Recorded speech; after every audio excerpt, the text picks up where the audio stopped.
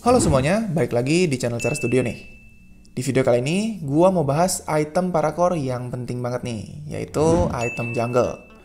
Kalau kemarin-kemarin pas bahas item ROM, gua bilang kalau item ROM itu harus dibeli di awal-awal pertandingan buat para tank sama support, buat para hero-hero core alias ujung tombak pertandingan, terutama di meta sekarang yang sering banget bahkan hampir selalu pakai formasi hyper carry, item pertama yang wajib kalian beli itu Hunter Knife.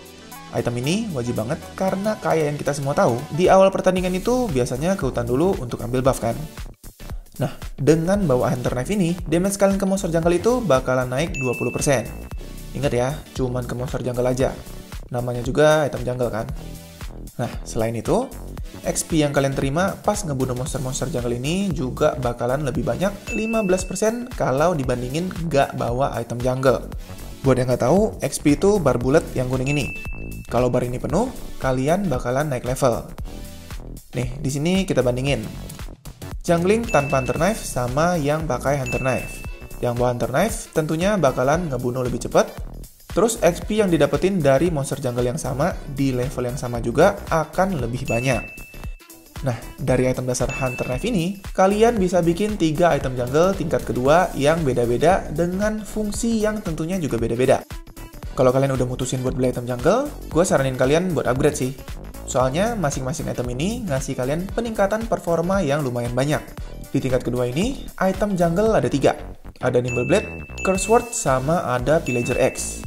Masing-masing dari ketiga item ini akan naikin efek item jungle dari Hunter Knife yang tadinya ngasih ekstra 20% damage ke monster jungle akan naik jadi 35%. Terus XP yang tadi bonusnya 15% ningkat jadi 25%. Dengan kata lain, kalau kalian bawa item jungle tingkat kedua ini, kalian bisa bunuh monster jungle lebih cepat dan bisa naik levelnya juga lebih cepat daripada cuman bawa Hunter Knife tadi, apalagi kalau nggak bawa item jungle.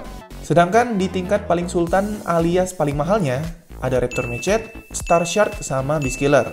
Kalau kalian bawa item ini, kalian bakalan dapat extra XP dari monster jungle 25% juga ya. Sama kayak pas itemnya masih level kedua.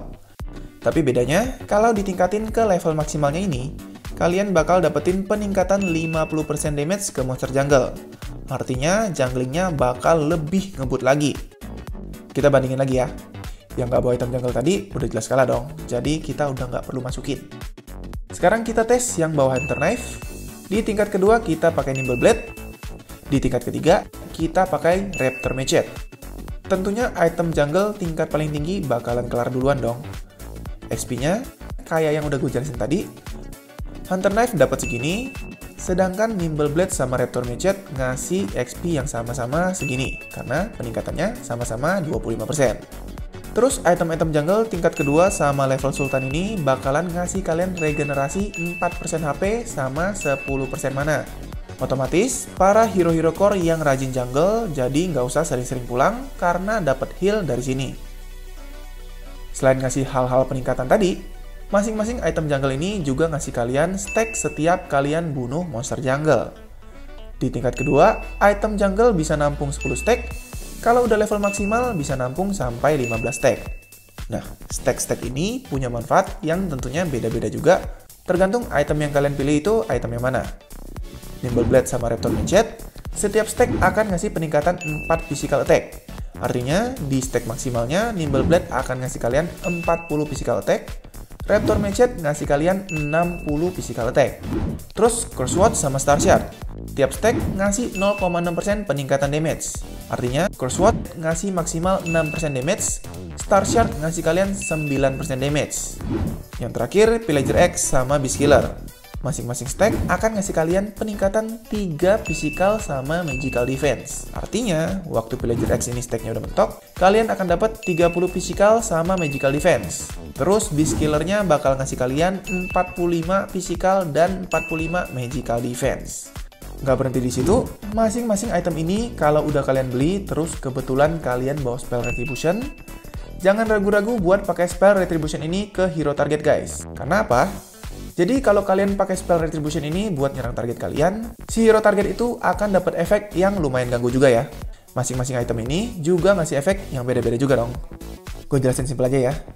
Jadi, spell retribution plus masing-masing item ini akan ngasih perubahan warna dari spell retribution yang kalian bawa. Nimble Blade bikin retri kalian jadi merah, Curse Rod akan rubah retri jadi ungu, terus Pillager X bikin tampilan retribution kalian jadi biru. Tiap kalian pakai spell retribution ini ke musuh, target kalian akan dapat efek slow sebesar 70%. Jadi bagus banget buat ngejar musuh yang mulai sekarat mau mati atau musuh yang barbar ngejar kalian kalau kalian yang mau mati. Ini berlaku buat semua jenis item jungle ya. Jadi item jungle mana pun yang kalian bawa, setiap serang musuh pakai retri, efeknya sama-sama ngurangin 70% movement speed musuh. Terus bedanya di sini, retri yang merah ada efek true damage-nya, yang ungu ngurangin magic defense dari target kalian, terus yang biru bakal ngasih kalian shield. Jadi di sini fungsinya beda-beda ya. Dari tingkatan kedua ke tingkatan tertinggi nggak ada peningkatan efek retri ke musuh, jadi sama aja. Tapi, kalau kalian tingkatin si item jungle ini ke level maksimalnya, kalian akan dapetin penambahan kemampuan lagi. Yang nggak bisa kalian dapetin kalau kalian cuma beli sampai tingkat kedua aja. Yang pertama, masing-masing item jungle ini bakal ngasih kalian atribut tambahan, Raptor Machete ngasih 30 physical attack sama 15% physical penetration. Star Shard akan ngasih kalian 30 magic power sama 15 mana regen plus 15% magic lifesteal. Terus, Beast Killer bakal ngasih kalian peningkatan defense lagi. 20 poin untuk physical defense sama 20 poin untuk magical defense-nya. Itu untuk atribut dasar dari masing-masing tingkat tertingginya. Selain ngasih atribut yang barusan gue sebutin, Raptor Machete juga akan ngasih true damage yang besarnya itu 50-200 poin setiap 10 detik dengan basic attack. Pas skill dari item ini siap dipakai, tangan hero kalian bakal nyala warna merah. Pas tangan hero kalian nyala, artinya efek dari item ini udah siap dilancarin ke musuh kalian. Terus, kalau kalian pakai Star Shard, efeknya beda lagi. Kalau pakai item ini, setiap kalian eliminasi musuh, kalian bakal dapat pemulihan 10% HP. Dan yang terakhir yang paling seru nih, yaitu Beast Killer. Ini kebalikannya Raptor Machete ya. Kalau Raptor tadi ngasih damage pas kalian nyerang, Beast Killer ngasih damage kalau kalian diserang.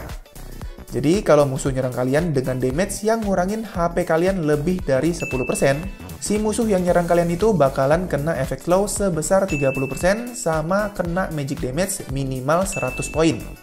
Makin gede level kalian, damage yang dikasih sama item ini bakalan makin gede juga. Bahkan, item ini bisa bunuh musuh kalau musuh yang nyerang kalian itu super duper sekarat.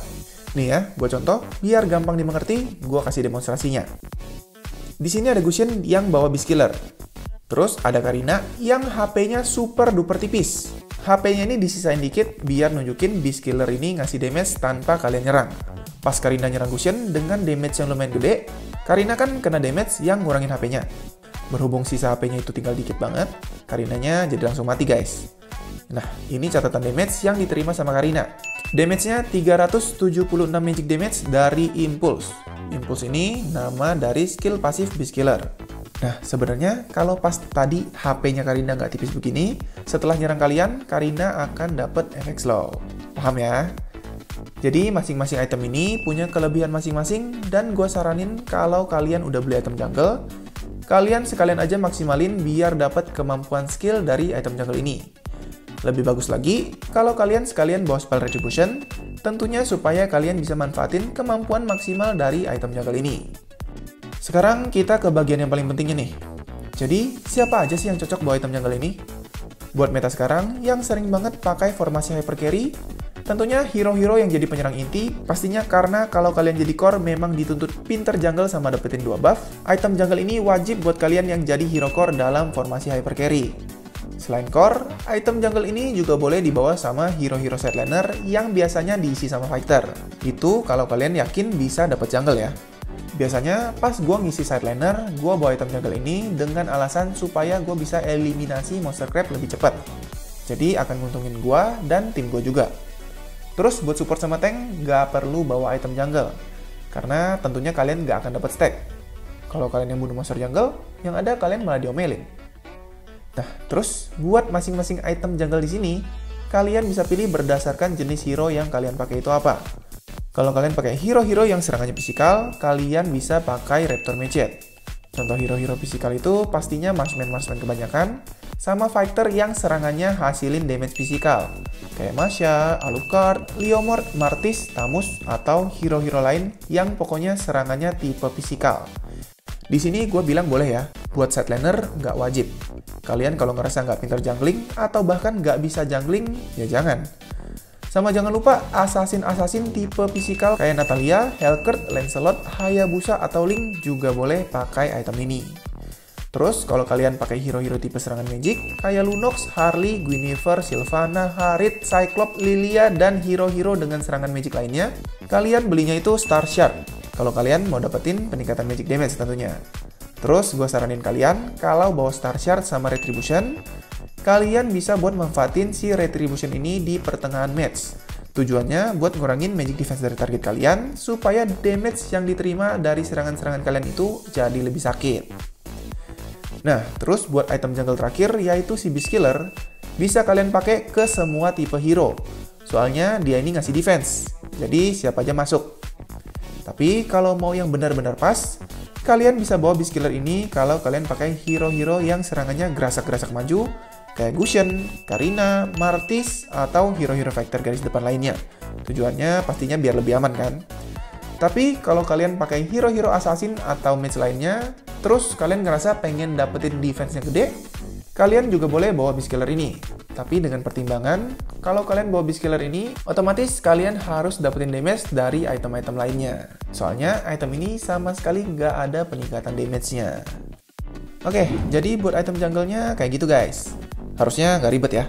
Mudah-mudahan kalian jadi paham, terutama sama fungsi masing-masing item jungle yang deskripsinya super panjang dan gue yakin banget kalian males buat baca. Mudah-mudahan penjelasan gue bermanfaat buat kalian. Oh ya, jangan lupa yang mau tanya-tanya atau request-request, kalian bisa komen di kolom komentar. Pastinya gue bakalan baca dan gue catat-catatin kalau ada request yang kira-kira mantap. Jangan lupa like, komen, dan subscribe. Thanks for watching. Salam solo public, and see you again in my next video. 拜拜。